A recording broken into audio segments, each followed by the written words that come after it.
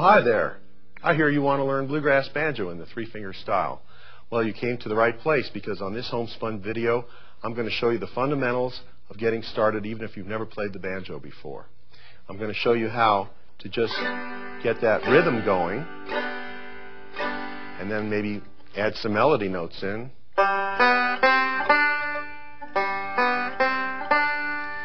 And then after a while, you'll be able to play something that sounds a little bit more like the whole style put together with the rolls and the melody and the chords, and you end up with something like this.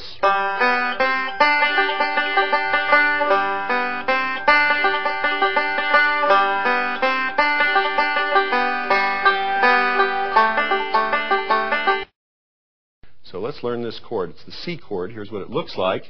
We'll put it on one finger at a time. Your ring finger goes on the first string, second fret. Your index finger goes on the second string, first fret, where it was before for the D7 chord. Now your middle finger is going to go all the way over to the fourth string, the furthest away string, and play the second fret, and there's your C chord. When you're learning how to make this chord, play through the strings one by one so you can really hear each one separately and make sure you don't have a sound like that. The string numbers are 3, 2, 5, 1.